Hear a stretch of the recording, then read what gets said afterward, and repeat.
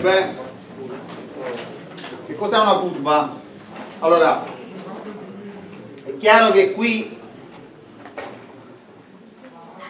se avete notato negli ultimi 15 giorni abbiamo accelerato in maniera impropria. Il motivo è sempre quello perché non abbiamo tempo per sviluppare adeguatamente la teoria quindi dobbiamo saltare molte dimostrazioni però dobbiamo riuscire a dare un cenno oltre agli integrali doppi e tripli di cui faremo ancora esercizi però non è che abbiamo finito. Eh, alle curve, integrali curvilinei, alcuni teoremi che collegano per esempio le formule di Gauss-Green, il teorema della divergenza, almeno enunciato il teorema di Stokes, e integrali superficie e integrali superficiali. Allora, cominciamo con le curve. Che cos'è una curva? Una curva, noi adesso abbiamo visto le applicazioni da Rn in Rm, no? E una curva è un caso particolare quando il dominio sta in R, ma il codominio sta in uno spazio finito dimensionale più grande, cioè in R.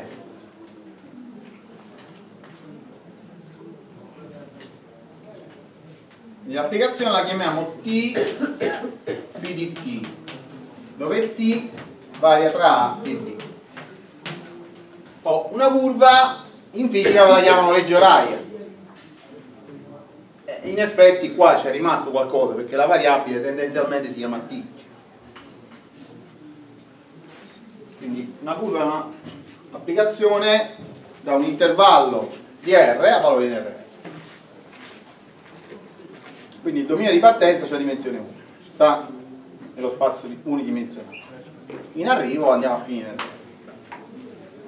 Oh, per prima cosa noi vogliamo che le curve siano almeno continue.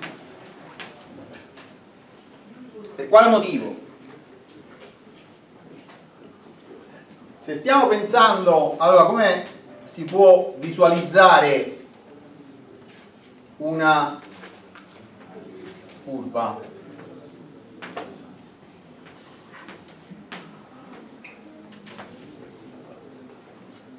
Abbiamo di A qui abbiamo φ di B o qua potete immaginarvi che il, dominio, il codominio sia in R2 e R3 più di R3 non riusciamo a fare la, comunque la figura. Quindi noi cosa disegniamo? Eh, non stiamo disegnando in realtà il grafico. No no stiamo disegnando dominio e codo codominio. Il codominio J uguale φ di AB si chiama sostegno della curva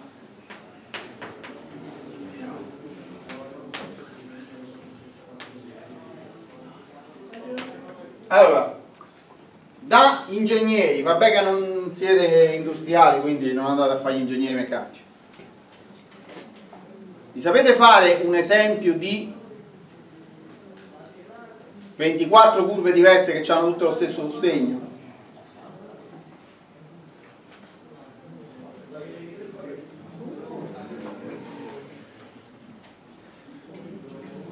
non è casuale, quante, quante sono le macchine di Formula 1?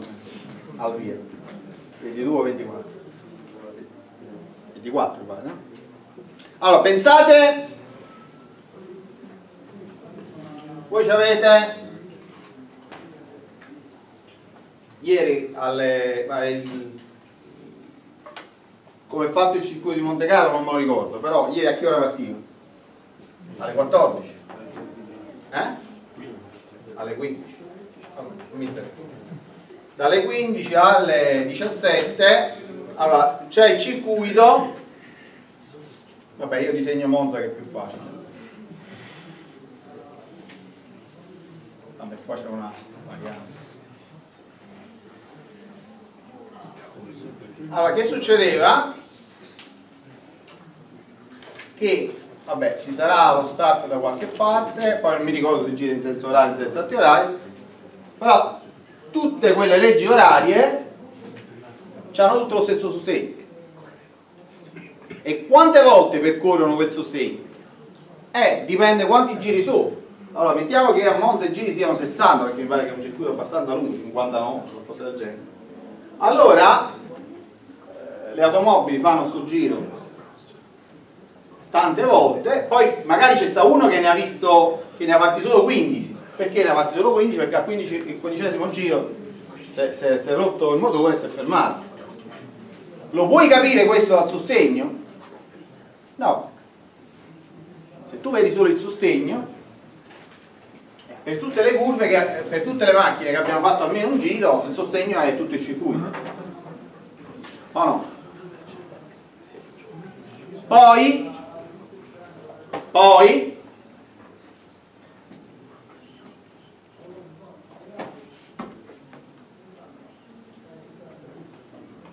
poi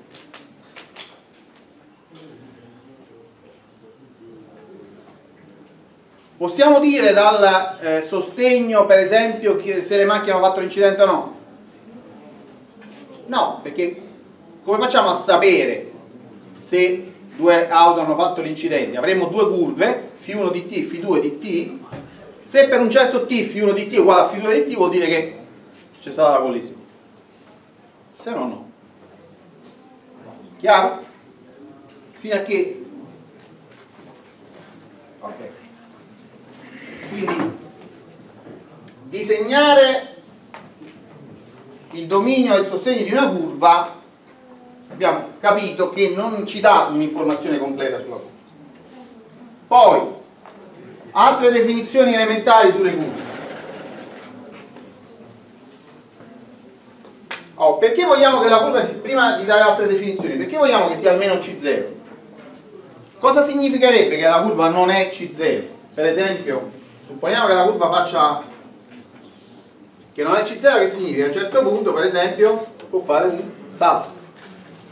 Allora qua sto arrivando a un certo istante t con, t con 1 con un certo valore e invece poi salto da un'altra parte. Come si chiama questo teletrasporto? Quindi non, non ha senso fisico quindi noi pretendiamo almeno almeno almeno almeno che la curva sia continua Naturalmente possiamo pretendere di più, per esempio, invece di C0 ci possiamo mettere C1, C2. Chiaro? Però, altre definizioni. Φ si dice aperta. Se e solo se per definizione fi di A è diverso da fi di B.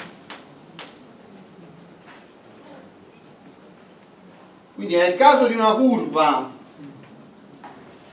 e invece phi si dice chiusa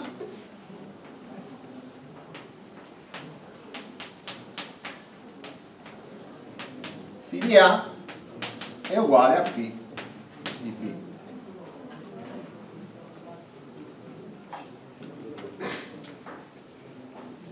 Va bene? Allora si dice chiusa quando φ è uguale a φ di b. Ora, le curve che mi danno la legge oraria delle, macchine delle automobili di Formula 1 sono aperte o chiuse? Normalmente sono chiuse, fanno tutti i gran premi, alla fine arrivano da dove sono partiti.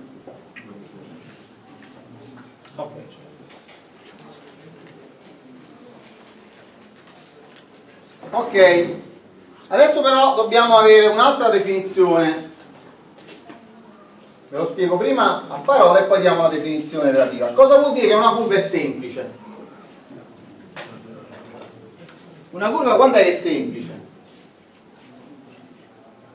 Quando non passa due volte per lo stesso punto a meno che non ha fatto tutto il giro e, e cioè φ di A uguale a φ di B è consentito ok? allora vediamo un po' questa curva qua è semplice?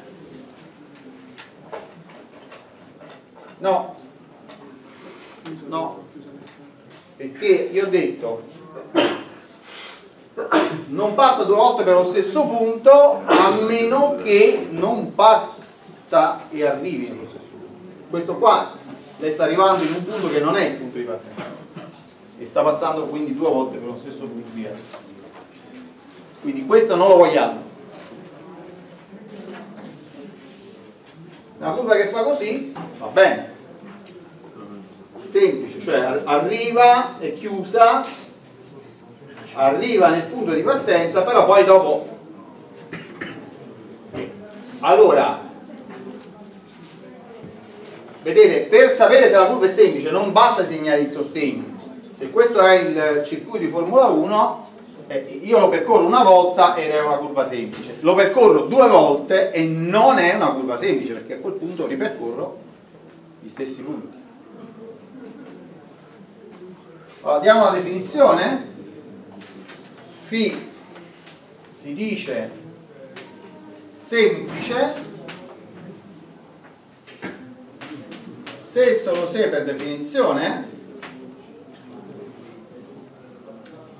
eh, φ di t1 è uguale a φ di t2 se e solo se t1 è uguale ad A e t2 è uguale a B oppure t1 è uguale a B e t2 è uguale a B quindi cioè gli unici le uniche immagini quindi praticamente una curva, una curva eh, semplice una curva iniettiva. A me ci sono solo due per esempio se è aperta allora è iniettiva. Se è chiusa può non essere iniettiva ma semplicemente perché è partita da è, diciamo è partita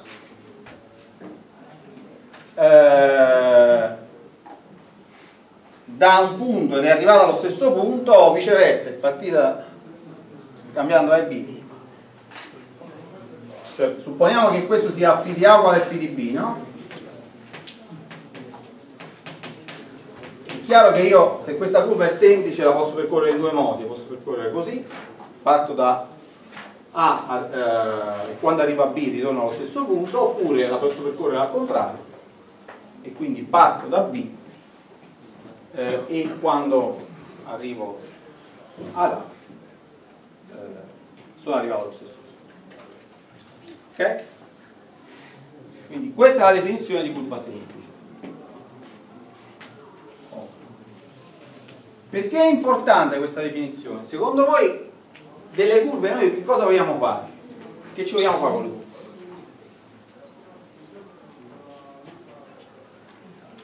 Con le curve ci dobbiamo fare una cosa sostanzialmente, l'integrale curvilineo, cioè l'integrale di una funzione lunga una curva. Un caso particolare di questo integrale è la lunghezza. Ok? Ora prima di vedere questo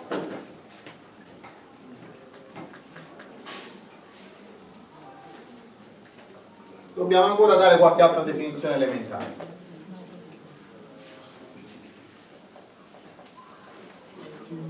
Ora, per andare a farci a fare la lunghezza o gli integrali, noi supporremo che φ sia almeno di classe C1 su AB. Ok? Quindi prendiamo adesso, consideriamo le, le curve che siano di classe almeno C1 poi vedremo, consideriamo anche quelle di classe C1 a tratti. Poi lo definiamo tra per adesso non ci deconcentriamo prendiamo quelle di classe C1 allora uno dice quale sarà la differenza tra una curva di classe C0 e una curva di classe C1 beh uno dice quella di classe C1 mettiamo che sia pure semplice sarà bella liscia liscia, no? Cioè può questo essere un sostegno di una curva di classe C1, secondo voi?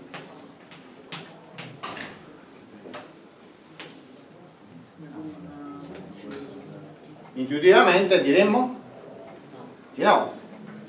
E invece sì. Eh. Andiamo a vedere, andiamo a fare un esempio.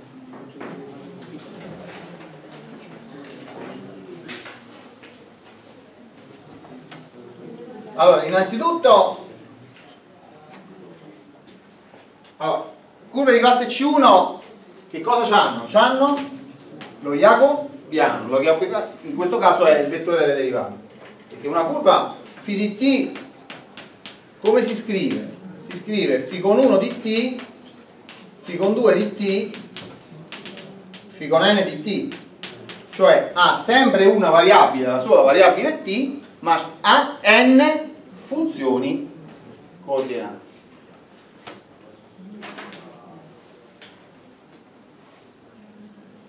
Allora, chi è il vettore delle derivate? È semplice. È φ'1 di t φ'n di t, oppure scrivete def con i di t in def la variabile è una, quindi non si parla, si parla di derivata ordinaria, non di derivata parziale. Sono le funzioni che sono tante. È chiaro? Quindi una curva di classe C con 1 semplicemente ha la derivata con la derivata continua. Ok? Benissimo. Andiamo a fare questo esempio.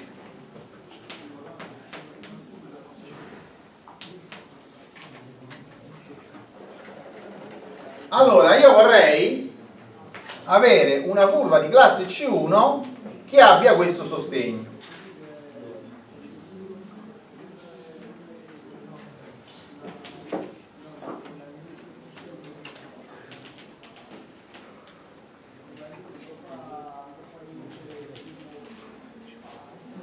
Ok? Cioè il grafico del valore assoluto della meno 1 ma uno come dovrebbe dire chi è questa? Allora, prima di fare quell'esempio se io ho un grafico lo posso vedere come sostegno di una curva? certo perché a t posso associare t f di t eh, se questo è il grafico della funzione f di t e t lo faccio variare tra A e B allora se lo voglio vedere come sostegno di una curva attenzione io duplico qua l'intervallo AB e una T che sta qua, dove la mando? La mando nel punto che eh, nel, nel grafico sta sopra T, quindi che, che coordinate ha? T F di T. Quindi uh, un, un, modo standard e tranquillo, diciamo canonico per vedere il, un grafico di una funzione di una variabile come sostegno di una curva è vederlo in questo modo. Se f è di classe C con 1, se questa la chiamate φ, chi è dφ è, allora questo mettiamolo come trasposto, 1 f' di t, o no? Dφ calcolato in t io devo derivare rispetto a t, quindi mi viene 1 f'. Oh, però, se vado a fare questa cosa qui, non, non, mi funziona bene. Questa qua mi viene t valore assoluto di t. P di t. Questa è di classe C con 1? No. Questa non appartiene a C con 1.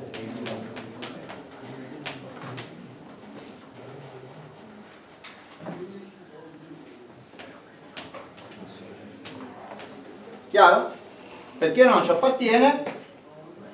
Eh, chi è dφ di t, vabbè, questo sempre trasposto, perché dobbiamo vedere come vettore verticale, è 1 segno di t ma t deve essere diverso da 0 perché in 0 la funzione valore assoluto non è derivabile. E vabbè, qua ho semplicemente detto che se questa la guardo come grafico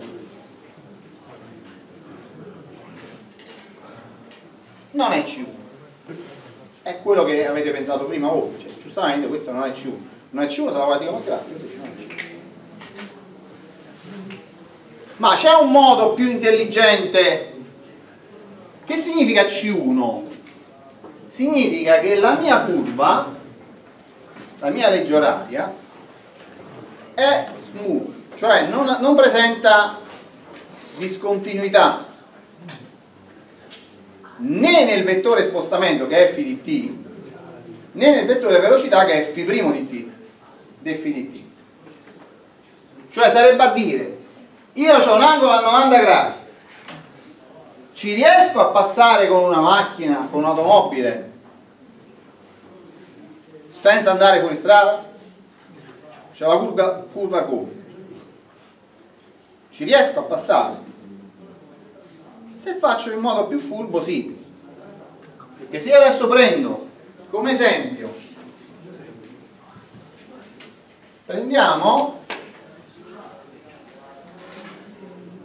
quest'altra curva qui psi di t uguale t cubo valore assoluto di t cubo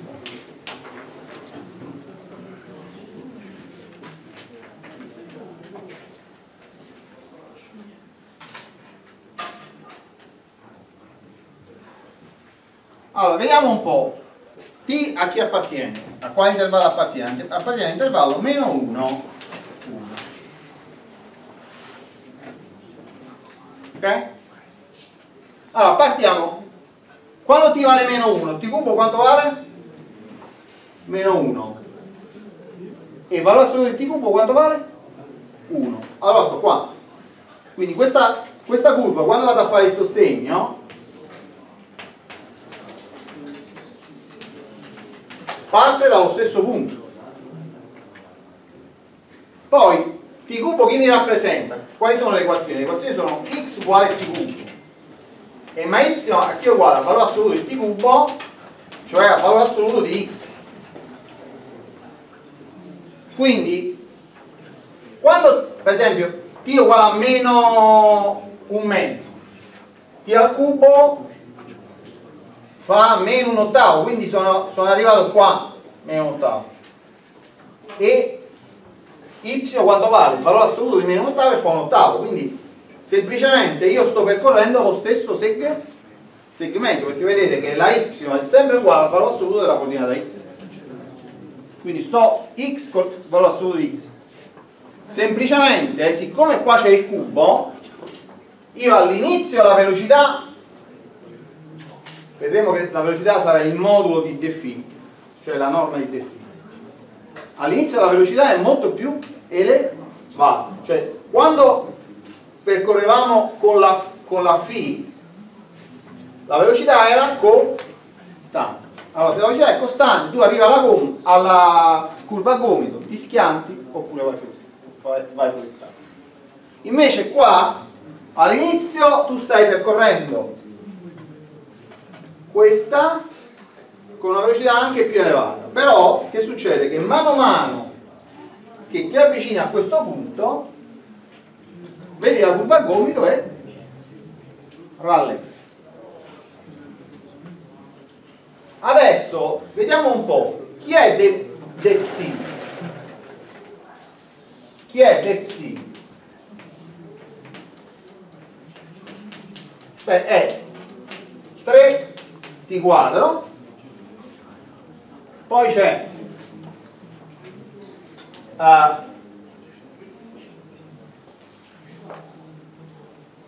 poi c'è eh, questo lo possiamo scrivere come t quadro per il valore assoluto di t e qua mi viene 3 t quadro per il segno di t. Eh, ma questo va bene anche se t è 0 perché se t è 0 eh, chi è questa funzione? 3t quadro segno di t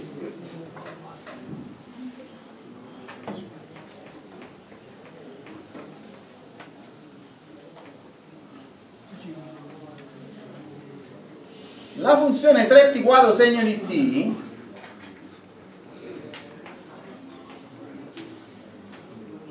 fa così.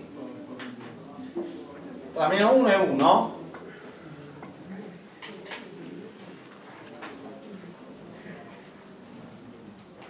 fa così vabbè. Ovviamente questa è una funzione dispari però vedete benissimo che è una funzione cioè questa è la parabola 24 con un ramo girato verso il basso. Però vedete benissimo che questa funzione in 0 è continua segno è discontinuo però no, quando lo motivo è 3t quadro la funzione prodotto diventa continua. Perché qua il limite da sinistra è 0 il limite da destra è 0 il valore del tutto è 0 perché da sinistra devo fare il limite di meno 3t quadro. Da destra devo fare il limite di 3t quadro ma sempre 0 viene perché in 0 vale 0 per 0 che fa 0 quindi chi è la velocità scalare? la definizione si chiama velocità scalare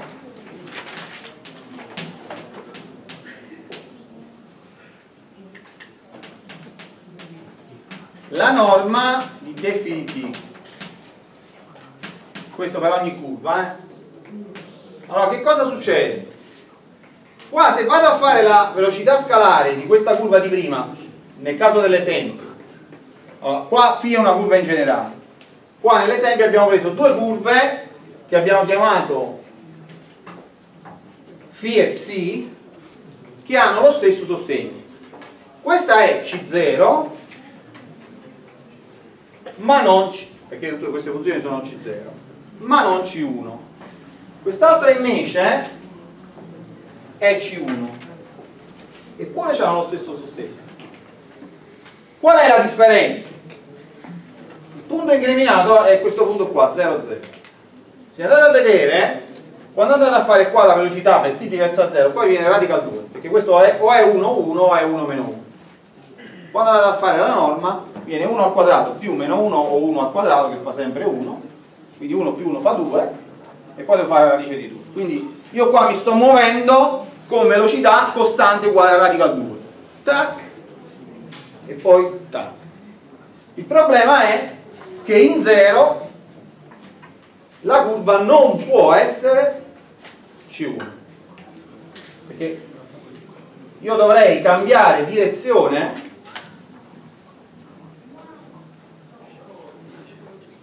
in questa mia legge oraria, se la guardo come fisica, dovrei cambiare direzione del moto istantaneamente mantenendo la stessa velocità.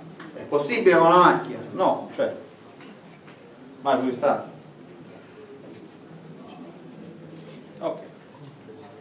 Allora, qua invece, quindi, nel caso dell'esempio, qui norma di DFI ma siamo sempre nell'esempio, eh? questa è la definizione generale, questo è sempre l'esempio. Qua la norma di dφ di t, quindi la velocità scalare, viene radical 2, ma sempre per t diverso da 0. Sempre per t diverso da 0. Per t uguale a 0 la velocità non c'è, perché in quell'istante la, il vettore della derivata non è definito. Invece qua, chi è de, de di t?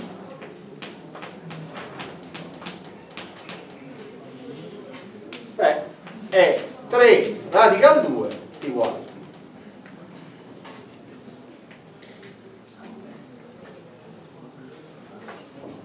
Quella è, è, è la velocità scalare. Come vedete, quando t è 1 o meno 1 qua la velocità è tripla è 3 radical 2 qua invece è solo radical 2 quando invece sto vicino a 0 la velocità, questa velocità qua questa è sempre radical 2 questa invece si avvicina a 0 cioè che significa? io parto con velocità tripla in un caso parto lento però con velocità costante. Non mi interessa che ci sta la curva al gomito. Quando arrivo alla curva al gomito siccome non ho rallentato vado a sbattere cioè andare a sbattere che significa? significa che per girare la mia curva non può essere C, C1 ma deve essere solo C0 quindi devo fare questo movimento repentino che nella realtà mi porterebbe fuori stato perché io in quel caso me ne continuo per la tangente non, non lo riesco a fare invece in quest'altro caso io parto con una velocità addirittura tripla però vedo la curva a gomito quindi già quando t è uguale a meno un mezzo la mia velocità è di meno di quell'altro che è 3 quarti radical 2 poi continuo a frenare che succede? quando arrivo nella curva a gomito praticamente la velocità è quando t è uguale a 0 quando è questa velocità?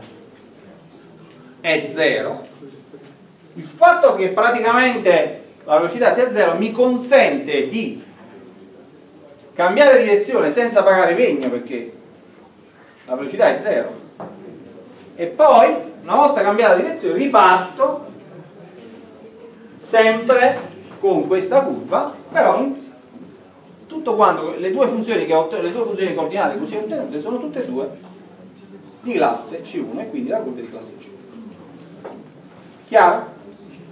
questo corrisponde alla realtà. Quando tu c'hai veramente una curva a gomito prima di tutto non è mai così. Non è mai perché la, la, strada ha uno spessore no?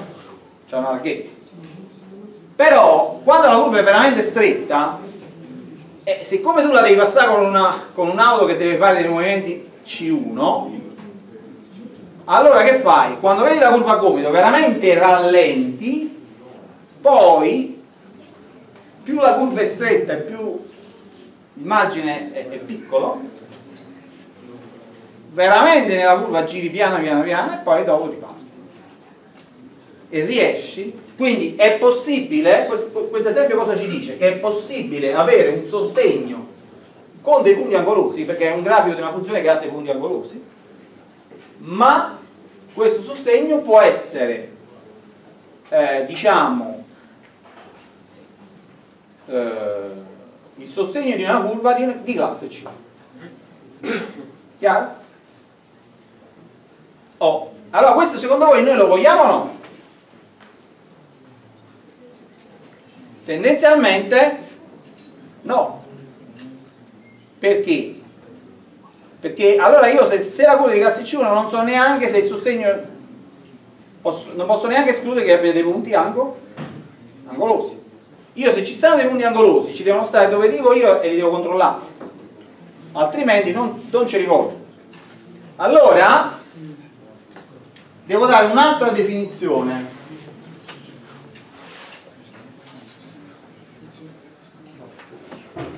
allora devo dare qua due definizioni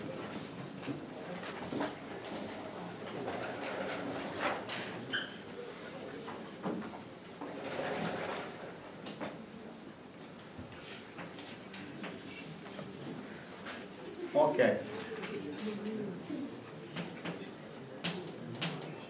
allora chi è il versore tangente?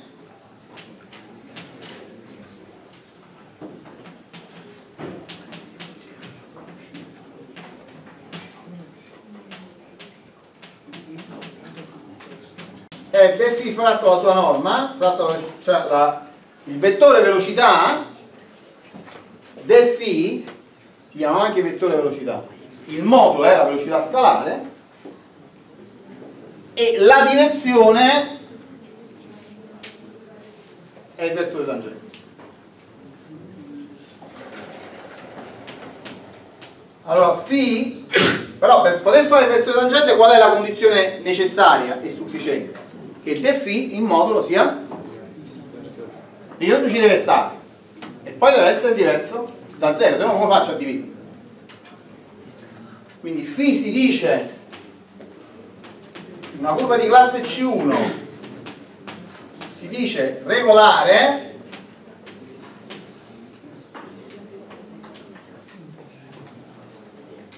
se solo se per definizione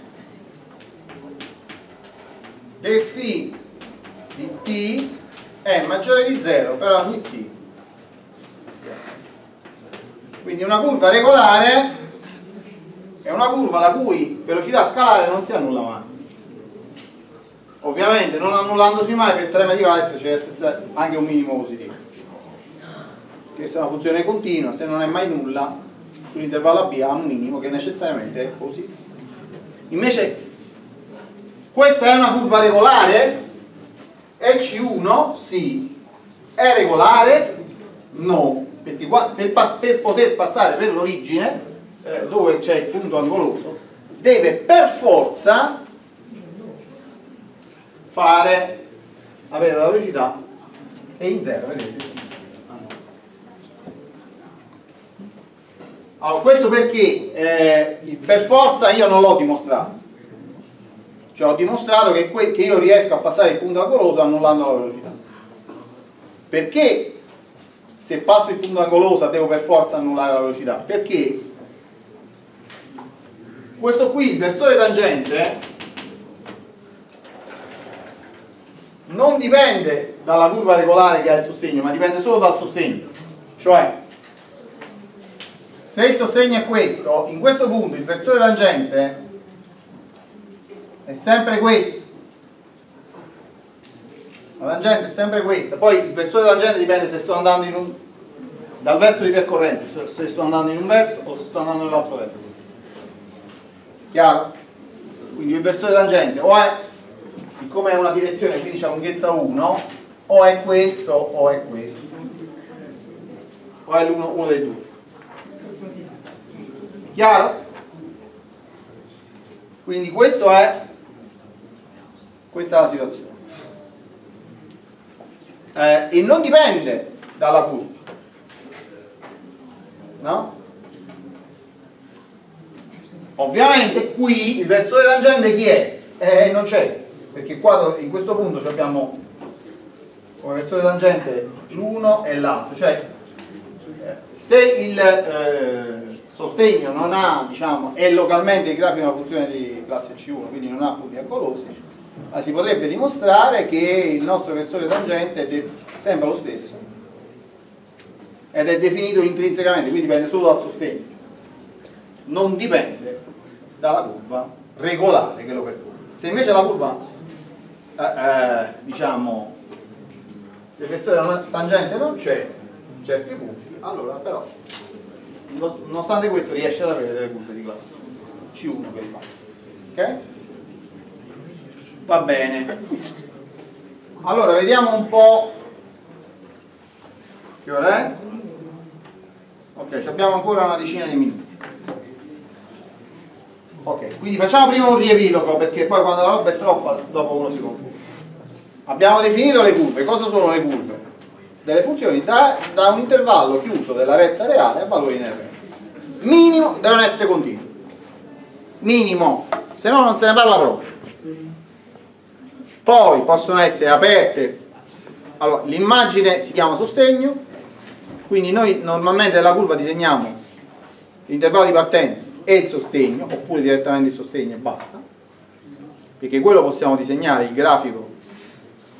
È difficile da disegnarlo potremmo riuscire a disegnarlo solo per le curve da R in R2 che il grafico sta in R3 però praticamente non ci avrebbe senso eh, almeno invece disegniamo il sostegno e pensiamo al fatto di percorrere quel sostegno a t pensiamo come se fosse il tempo quindi alla curva come una legge oraria. È, la controparte matematica di una legge oraria in fisica. Uh, la curva può essere più regolare può essere di classe C con 1 e quindi abbiamo il vettore delle derivate cioè lo jacobiano di φ che è il vettore delle derivate perché la variabile è una vettore colonna e questo si chiama vettore velocità. Ah, uno dice beh se la curva che di C con 1 è più liscia quindi il sostegno sarà liscio. No, il sostegno potrebbe lo stesso avere dei punti angolosi l'abbiamo visto con un esempio.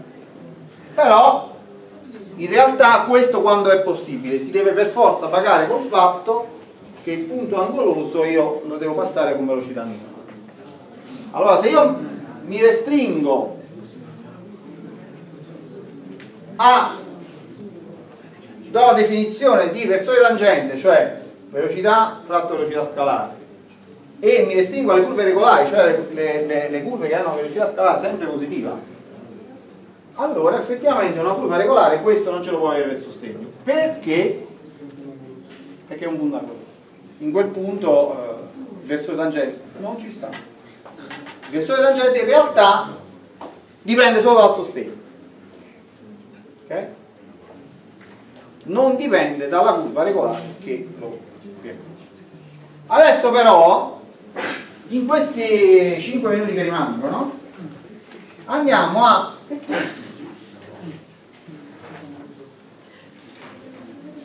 a fare un esempio più semplice di curva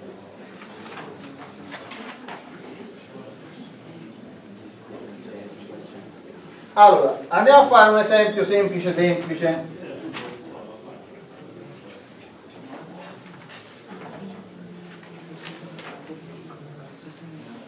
Allora andiamo a prendere questa curva qui φ di t uguale coseno di t seno di t. Che è questa curva?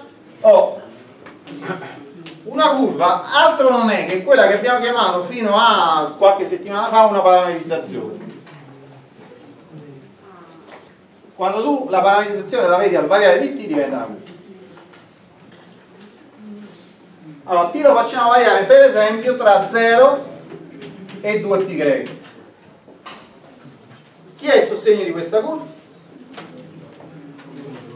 Eh?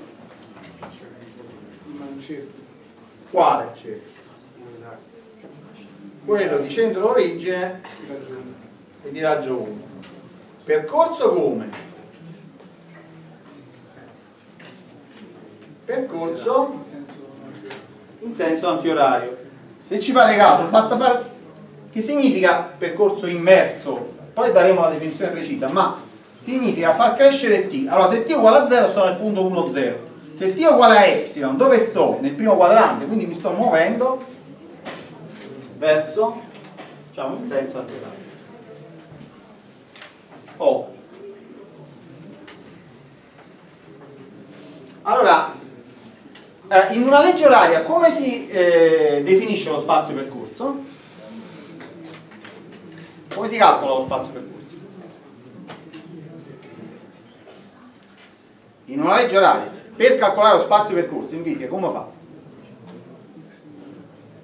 Chi è lo spazio? Allora, in un modo rettilineo uniforme, chi è lo spazio percorso? La velocità costante, quale velocità? Scalare, per il tempo. E se il modo non è rettilineo uniforme, dovete fare chi è lo spazio? L'integrale della velocità scalare rispetto al tempo. Noi chiamiamo lunghezza della curva per definizione l'integrale tra A e B di det di t in dt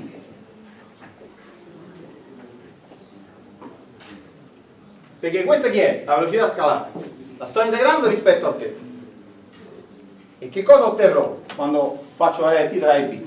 Eh, lo spazio percorso, no? Vediamo se funziona. Questa è una definizione, quindi non c'è nulla da capire. Allora, partiamo dagli esempi più elementari per vedere se questa definizione corrisponde a quello che ci aspettiamo. Quando dovrebbe essere questa lunghezza?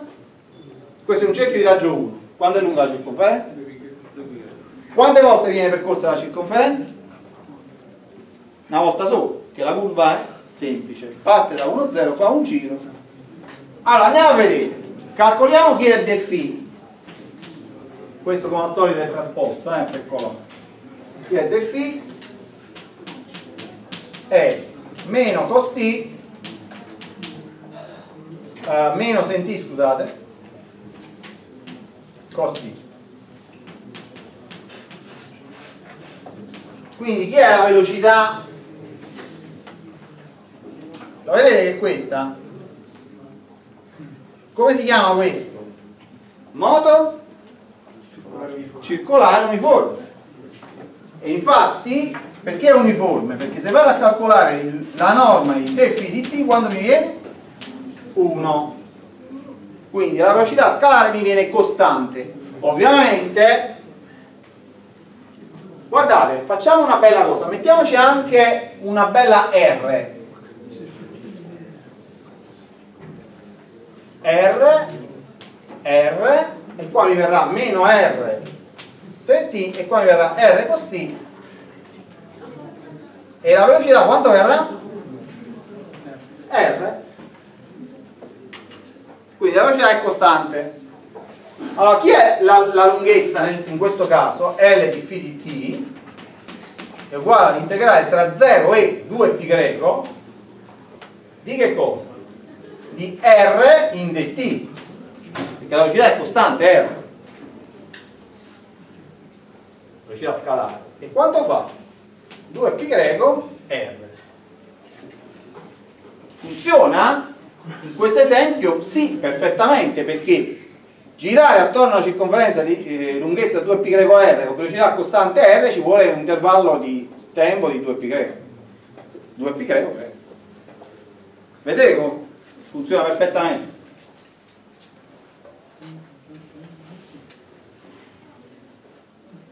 ah dice ma allora ma allora prendiamo l'esempio di prima chi era psi di t? era questa che de psi de psi era era 3t quadro 3t quadro segno di t norma di de psi era 3t quadro radical 2 vi ricordate? e chi era il sostegno di psi? il sostegno di psi t appartenente a meno 1 1 lo scrivo qua era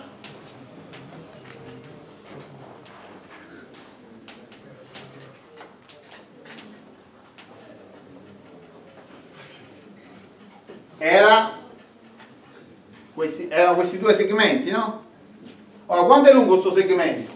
1 1 la diagonale è lunga radical 2 per 2 fa 2 radical 2 allora io per, per calcolare la lunghezza di questa curva che devo fare? devo fare due volte perché la funzione è pari integrale tra 0 e 1 quindi invece di fare integrale tra meno 1 e 1 faccio due volte integrale tra 0 e 1 di che cosa?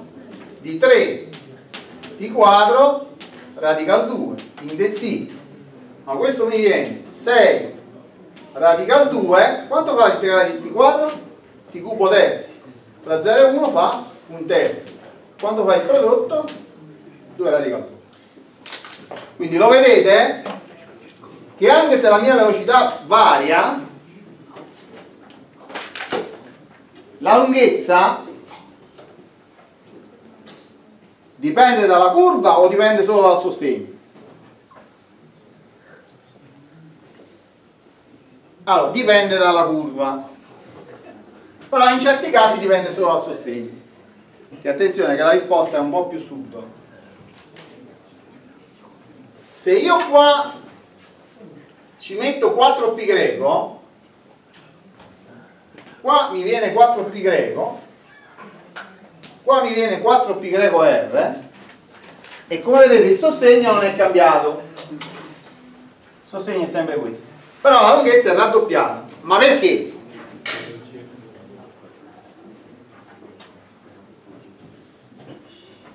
perché? non perché sia cambiata veramente ma perché il sostegno l'ho girato due volte. Allora quando è che io posso aspettarmi che la curva la lunghezza della curva no la lunghezza della curva si definisce sempre così. Allora tiriamo un attimo le somme poi ci fermiamo per oggi su quelle future ci, ci fermiamo facciamo poi gli esercizi di integrale la lunghezza si definisce così. Sempre così. Ok? però però per definire la lunghezza mi serve che la curva sia regolare? no perché La curva regolare mi serviva per non avere punti angolosi del sostegno, ma questa curva va benissimo per farci la lunghezza, infatti la lunghezza viene 2 radical 2. Quindi, per fare la lunghezza la curva è più che sufficiente che sia di classe C1. Potremmo dare la definizione di lunghezza di curve rettificabili anche per curve di classe C0.